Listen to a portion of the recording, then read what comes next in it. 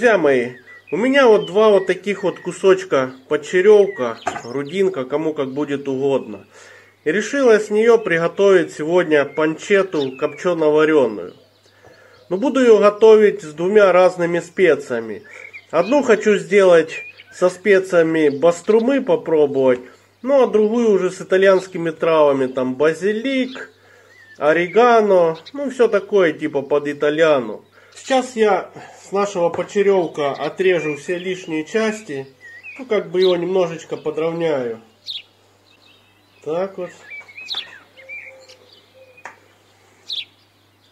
Чтобы наша панчета была ровненькая и красивая.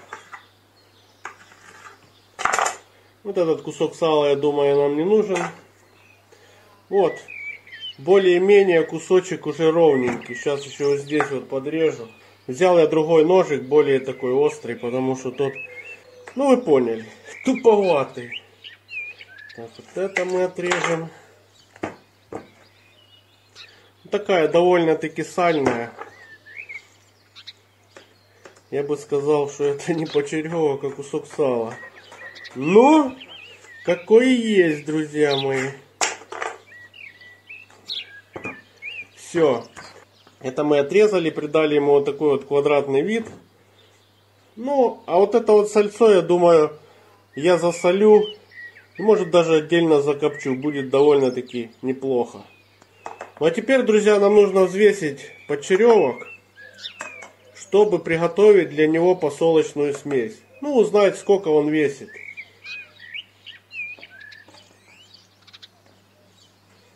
2 килограмма 637 грамм.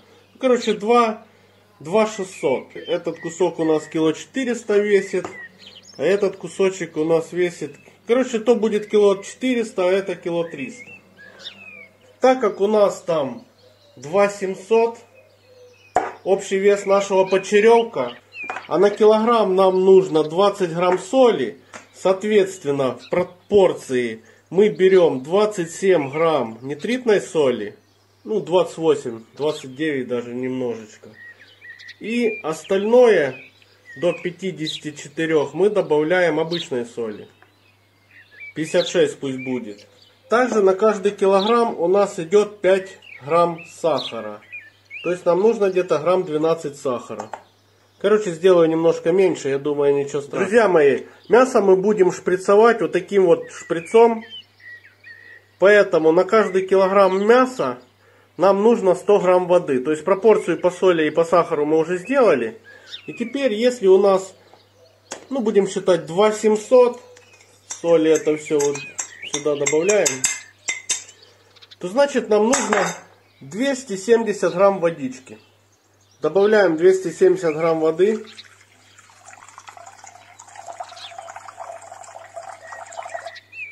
263, нормально. Также, друзья, сюда можно добавить сушеный чеснок, гранулированный. И все перемешиваем. Перемешиваем до той поры, покуда у нас не растворится соль, сахар, ну все наши сыпучие ингредиенты. Все, пока отставляем в сторону, займемся нашим мясом. Так, первая панчета у нас будет а-ля баструма. То есть мне подогнали вот такие вот специи. 75 грамм для баструмы.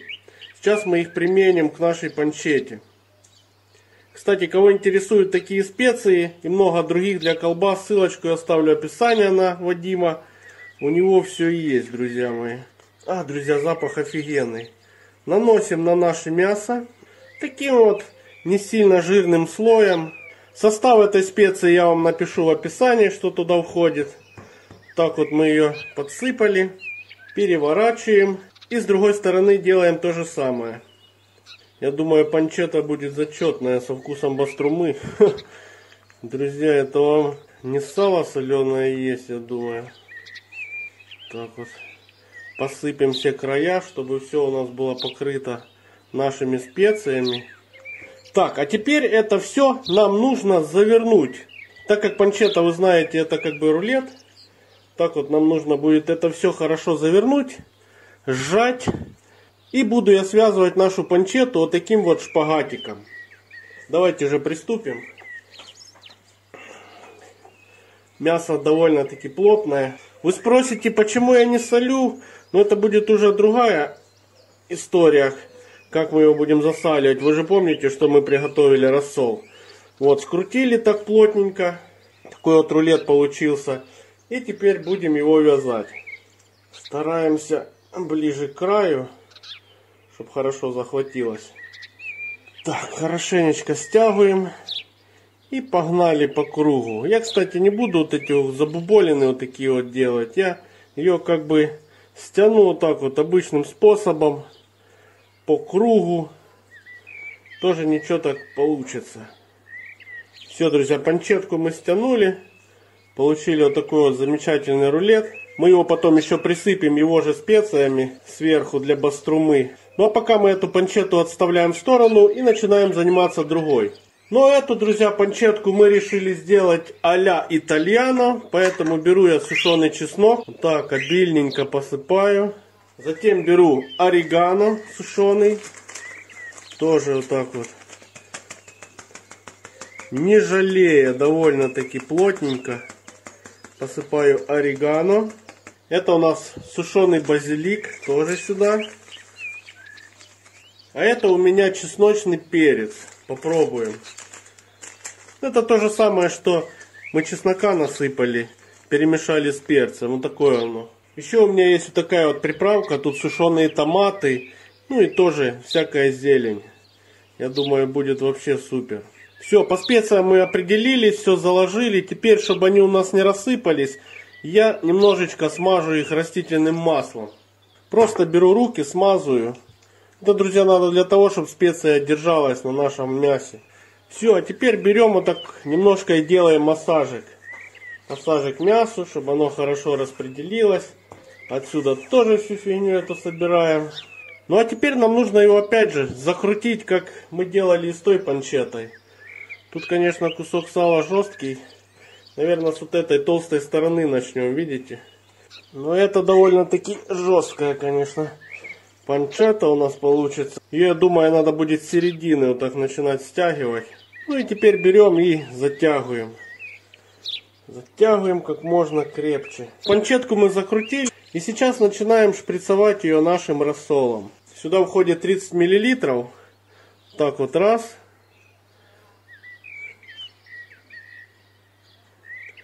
Рассол будет немножечко расплескиваться, выливаться, но ничего. Зачем мы так делаем? Можно было, конечно, засолить это все сухим способом. Но если вам нужно быстро, как мне, то есть, чтобы три дня оно у нас постоит в холодильнике, и я уже начну его приготавливать дальше, то этот вариант самый лучший. Если засаливать сухим способом, то тогда нужно будет все те же пропорции соли, как я вам сказал, но просаливаться оно должно минимум неделю. Все тоже зависит от куска мяса. Так вот я прохожу. Под шкурку особенно, потому что туда маринад не проходит. Маринад будет проситься наружу, но видите, он сдувается. Ну ничего страшного. Для следующей операции, друзья, нам понадобится вакууматор и вакуумные пакеты, так как мы просаливать будем нашу панчету в вакууме. Подворачиваем уголок. Это чтобы мы не намочили его нужно. Все, берем нашу панчету и закладываем наш вакуумный пакетик. Это у нас панчета итальянская. Сейчас я туда еще насыплю немножечко специй.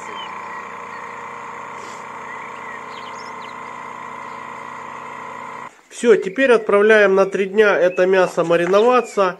А через три дня встретимся и я вам покажу, что мы будем делать дальше с ним. Друзья, панчета промариновалась в холодильнике. И сейчас с помощью сувида я ее буду готовить. Ну а затем буду коптить. Так, опускаю водичку. Здесь у меня еще, как видите, колбаска, балычки. Все это мы сегодня приготовим. Ну это уже другой рецепт. У нас сегодня, друзья, панчета. Доливаю еще немножечко воды по уровню.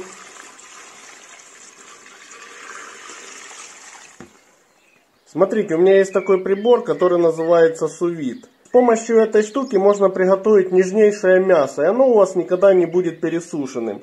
Вот я выставляю температуру 70 градусов и время 5 часов. 5 часов будет достаточно, чтобы приготовить такие большие куски мяса. Все, нажимаю кнопочку запустить. Начинает работать нас насос. Видите, он нагревает воду. Идет циркуляция воды и полностью разогретая вода циркулируется по всей емкости. Поэтому везде будет одинаковая температура. Все, друзья, через 5 часов мы встречаемся и смотрим, что у нас получилось. Ну что, друзья, вот наша панчета. Она у меня 5 часов проварилась в вакууме при температуре 70 градусов. Вот это, видите, красненькое, это с вкусом баструмы, а это уже потемнее, это наши прованские травки. Сейчас мы нашу панчету будем коптить. Коптить я буду холодным способом. Температуру я выставлю где-то 28 градусов. И коптить буду ее где-то часиков 5. А затем проветривание и завтра уже нарезаем и кушаем, друзья. Друзья мои, панчетку я вывесил вот уже в коптильню. Выставляю 28 градусов и буду подавать дым. В течение 5 часов она у нас будет коптиться. Вот, друзья, наша панчетка прокоптилась. Смотрите, какая. Коптилась она у меня где-то 5 часов холодным способом. Затем я ее оставил на ночь на проветривание. А теперь можно ее нарезать и смотреть, что у нас с вами получилось. Ну что ж, приступим к нарезочке. Это у нас первая панчета, которая была со вкусом баструмы. Разрезаем. Отлично. Смотрите. Какой цвет. Мягенькая. Сочненькая. По запаху. Обалденно. Так, следующая панчетка у нас это с прованскими травами под Италию, или как я там говорил, уже не помню, столько дней прошло, друзья мои. Тоже мягко режется. Ну, тут больше сала, я так понял, потому что, смотрите, ну все же, отличное получилось. Теперь, друзья, дегустация. Отрежем со вкусом баструмы, такую тоненькую-тоненькую смужечку, как говорят. О, смотрите. Красота, да? ляпота, под водочку, на хлебушек, с чесночком. Отлично панчетка зайдет. Теперь попробуем. Есть такие отдаленные нотки баструмы, но все же я результатом довольный. Довольно-таки недурно, друзья. И вот эту панчетку с травами. Вот так вот она выглядит, друзья. Попробуем. Ну, совсем другой вкус, да. Недурно, вкусно. Ну вот, друзья, получили мы такую шикарнейшую с вами панчету.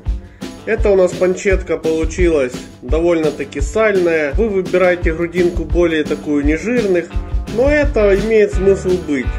Есть сало, есть мясо, все что нужно. Друзья, в принципе результатом я доволен. Не зря потратил столько много времени. Вам советую повторять этот рецепт. Но для себя я сделал такой вывод. Я бы ее, например, сначала бы замариновал, обсушил, закоптил бы холодным способом, затем бы завакумировал бы, и тогда бы шкурка была бы мягенькая. Шкурка после копчения немного таки, я вам скажу, затвердела. Друзья, повторяйте, пробуйте, и все у вас получится. Ну а кому понравился мой рецепт, ставьте лайки, подписывайтесь на канал, так как статистика говорит, что больше мои рецепты смотрят люди, которые без подписки. Друзья, подписывайтесь, чтобы не пропустить мои новые рецепты. Я всем, друзья, желаю приятного аппетита, хорошего настроения, новых кулинарных фантазий. До новых встреч, друзья. Всем пока.